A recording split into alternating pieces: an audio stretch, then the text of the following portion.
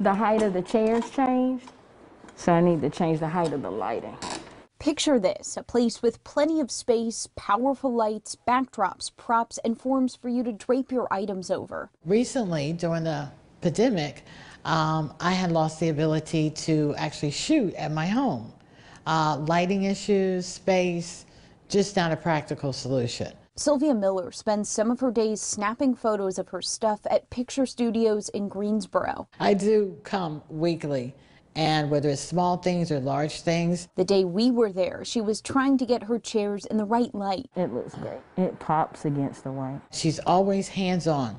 She always makes sure you're taken care of. She's talking about owner Crystal Rogers. In April of 2020, in the middle of the pandemic, she and her husband Evan opened this hourly rental studio on Centerview Drive in Greensboro. Our studio uh, is rented for as low as $30 throughout the week, and on Saturdays up to $60. We're closed on Sundays. The space is for photographers, videographers, and creative people in general. Our studio is really, really good for millennials and DIYers. We have a lot of people who come in and they do their shoots for their online boutiques. Uh, they may come in and take photos of their garments and put them in their e-commerce websites. For me, it was a lifesaver.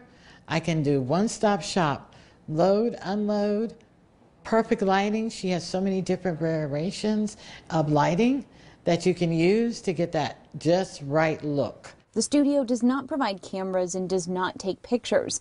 You can show up with a cell phone and hold your own photo shoot. We had a couple of ladies come in the other day and they did a best friend shoot and they had so much fun. It's a quaint studio where you feel right at home. The exact atmosphere Crystal and her husband wanted to create. We wanted the studio to feel like home. You know, when you walk in, we want it to smell good, we want it to look good, and we want you to be able to, you know, to feel like you want to come back. They also want everyone who steps through the doorway to be safe. There are sanitizing stations throughout the studio and signage.